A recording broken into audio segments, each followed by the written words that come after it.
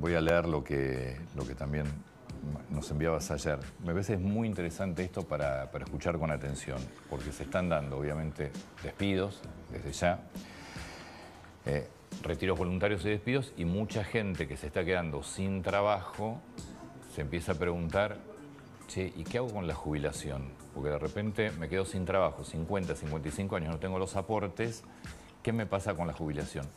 ¿Qué, Contame qué están viendo de todo esto. Bueno, creo que hay un contexto en general de preocupación, sobre todo porque los despidos y los retiros voluntarios son siempre de personas mayores de 50 años. Entonces son personas que quizás no tienen posibilidades de reinsertarse, no es que pueden ser emprendedores silver y transformarse muy rápidamente si es que no han emprendido a lo largo de su vida.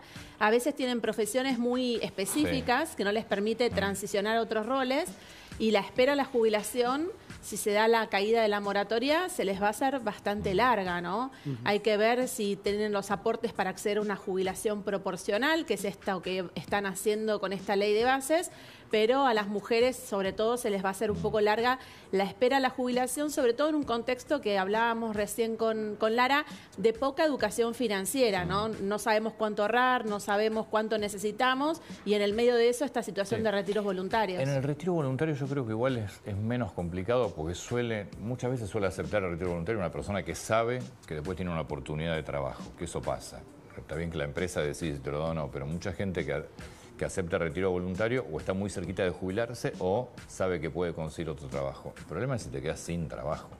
Sí, eh, también hay una, a veces una valoración en menos de lo que voy a necesitar cuando mm. me vaya para llegar a la jubilación y muchas veces esa valoración por debajo de lo que necesito genera un empobrecimiento en el futuro mm. jubilado, ¿no? O pienso que voy a tener una oportunidad o reinsertarme o incluso que voy a mm. poder emprender y a veces esto que yo te decía, necesitamos políticas públicas, sí desde ya, que ayuden a los emprendedores más 50 a generar sus propios negocios, pero bueno, si vos fuiste empleado durante 30 años, no es que te vas a transformar de un día para el otro en un emprendedor si no tenés alguna guía de cómo ir para que eso sea exitoso, ¿no?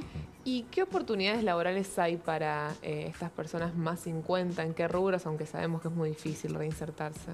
Mira, estamos viendo ahora, esto es un problema a nivel mundial, no es solo en Argentina. Estamos viendo varios proyectos, algunos de reconversión a tecnología. Obviamente requiere también, como dice muchas veces Liliana Parodi, esto es una decisión muy de cada persona, ¿no? Cada persona tiene que decidir transitar ese camino porque en este caso es aprender cosas que no sabían, aprender cuestiones de tecnología para intentar reinsertarse laboralmente. Pero desde ya se necesitan políticas públicas que acompañen o que las personas transicionen roles y se formen a lo largo de la vida para poder continuar siendo empleables o este tema del emprendedurismo, que es un camino que en el mundo también se está usando. bueno, eso yo te voy a decir.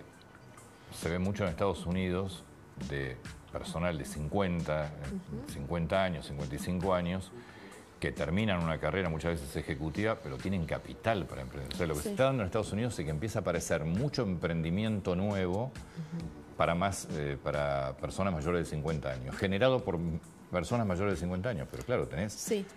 Primero, tenés capital, tenés crédito, tenés una sociedad que está mucho más mucho más pensada para los emprendedores, además. Mucho más pensada para los mm. emprendedores. Además, acá mm. esto de que son migrantes digitales, entonces también mm. si yo quiero emprender algo aunque sea pequeño, tengo que aprender a usar plataformas digitales.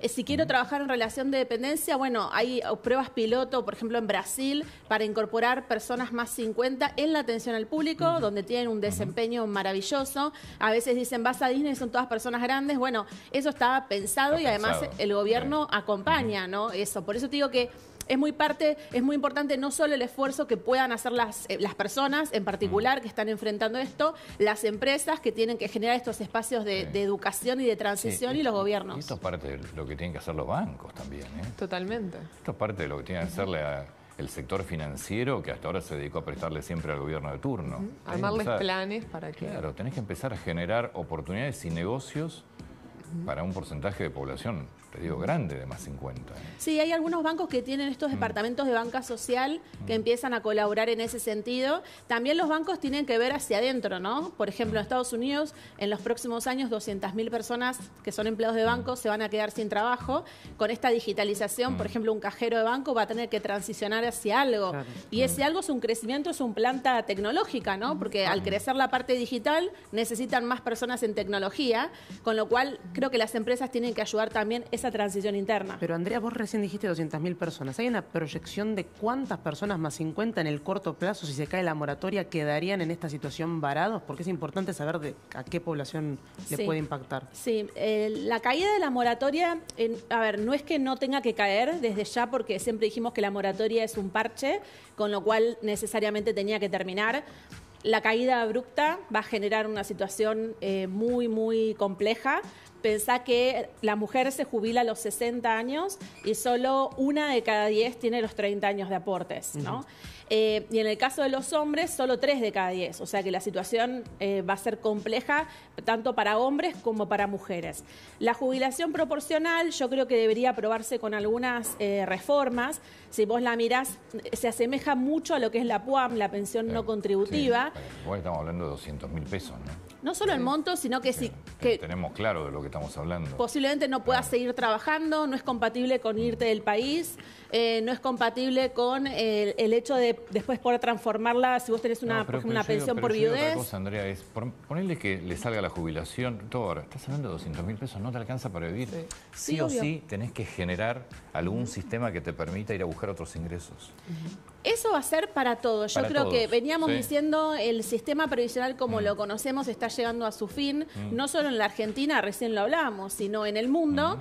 Ahora nos está agarrando antes de mano con jubilaciones licuadas de 250 mil pesos que, eh, digamos, no alcanzan ni para pagar expensas, ni alquileres, ni prepagas.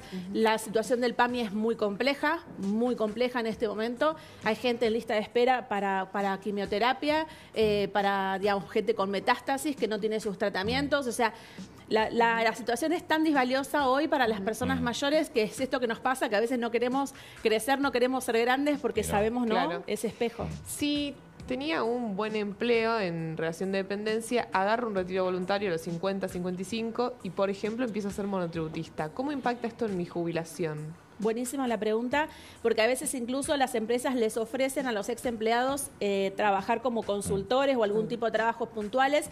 El monotributo no te perjudica la jubilación, okay. ¿sí? no te perjudica el promedio, no te lo mejora. O sea, lo que mejora siempre es la relación de dependencia. El monotributo no te va a perjudicar, con lo cual, si tenés una propuesta económica o puedes hacer algún emprendimiento, date de alta en el monotributo, que eso no, no te va a generar un perjuicio en el promedio, no va a bajar tu jubilación futura. Es decir, para vos estás en relación de dependencia, te faltan, no sé, 10 años, 5 años para jubilar, te decís no, renuncio o llego a un acuerdo yo, y después hago un emprendimiento y soy monotributista. Sí.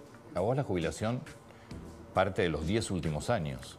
Son los últimos 10 años en relación de dependencia, ah, por un lado. Sí y sobre eso te van a dar el 1,5% de ese promedio por cada año de aportes. Esto significa también que cuantos más años tengo de aportes, mejor, ¿no? Cuando a veces te dicen, ya llegué a los 30, bueno, si tenés más, es mejor. Si hay, ah, estos aportes no me aparecen en ANSES, tengo los recibos, pero no importa, ya tengo los 30. No, esos hay que sumarlos, ¿sí? Va a mejorar la jubilación. Y aparte se hace la liquidación de aportes autónomos o de monotributo. Aparte se hace promedio. Con lo cual después los ah. resultados se me van a sumar. Ya entendí. Es decir, si vos, porque siempre te dicen son los últimos 10 años los más importantes. En relación de dependencia. En relación de dependencia. Sí, lo que yo te diría, te vas de la empresa y vos tenés un salario hoy de un millón de pesos. Si te digo, no te, vos vas a estar desplazando en los futuros aportes, pensá que es el promedio de los últimos 10. O sea, vas a estar desplazando 2014. Bueno, ¿cuán bueno era el aporte del 2014 que vas a estar desplazando? No tomes un trabajo por menos de ese salario actualizado. En relación de dependencia. En relación de dependencia. Pero si sos monotributista no pasa nada. No pasa nada. También a veces te preguntan, Me voy a poner en la categoría más alta del monotributo. Da igual, el autónomo monotributo todo vale poco, con lo cual no, no inviertas en eso porque no... Hoy, la- hoy muchos trabajos que se generan son como autónomos o monotributos. Esas personas van a estar en problemas el día que se quieran jubilar. Sí, el que tiene mucho autónomo... Sí, que no- sí. pero no hay Todos incentivo ahí. Pero problemas más todavía. Claro. Cuando Sí. nos querramos jubilar con este nivel de jubilaciones, porque además está estopeada la jubilación. Sí, hoy estamos llegando con el aumento último a un poquito más de 1.300.000 pesos. ¿Hay algún eh, país del mundo donde siendo eh, empleado en relación de dependencia o monotributista, autónomo, emprendedor, tengas las mismas condiciones a la hora de jubilarte? Sí, pero se paga más. Vos Claro, pensás que cuando vos ves lo que se paga de autónomo, mucho es IVA, mucho es ganancias, muy poco es aporte previsional. Claro. Entonces, después tenés una jubilación muy bajita. Estaría bueno emparejarlo porque el mundo laboral hoy, eh, para incentivar a que haya más emprendedores, ¿no? Sí, además de que la si cantidad están- de personas que no están registradas directamente y que Bueno, tampoco aportan. la informalidad laboral ha picado en punta, estamos arriba del 50%. Esto que, que decimos, ¿no? Queremos llegar a 30 años de aportes, que va a ser sin moratoria, no va a llegar prácticamente nadie. Cuando vos te encuentres un, un jubilado en los próximos años, recientemente jubilado, te diría que va a ser un unicornio.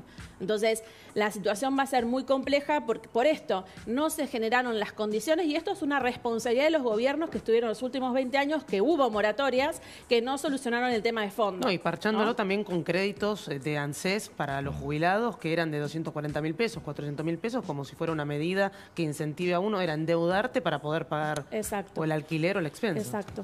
Andrea, muchas gracias. A vos. Gracias. Vamos ahora con tres noticias del mundo. Vení,